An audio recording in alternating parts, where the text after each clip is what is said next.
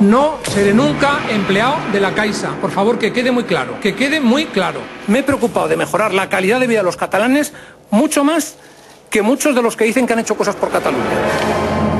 He metido el dinero que no se había metido nunca, dinero que viene de otras partes de España. ¿eh? Es tremendo que tengamos que estar en una OPA alegando como primer elemento la Constitución española.